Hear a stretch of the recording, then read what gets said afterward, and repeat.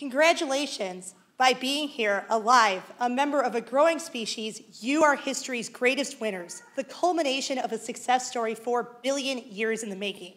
You are life's 1%. The losers, the 99% of species who ever lived, are dead, killed by fire, flood, asteroids, and the cold math of natural selection. How did we, the current inhabitants of this planet, get so lucky? I am a fish paleobiologist who uses big data to study why some species win and others lose. The living know nothing but winning, so we must speak with the dead. Dead fishes really come back to life when reduced to ones and zeros, creating a 500 million year database I can trawl for answers.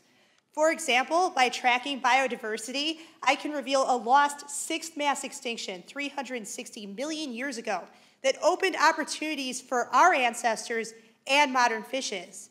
Capturing fish shape with coordinates, I can show that winners' heads changed before their bodies, allowing them to eat new foods before taking on new forms.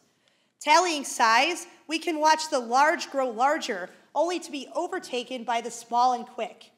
I can quantify survival and triumph and test how these patterns repeat across time, enabling us to make predictions for our future.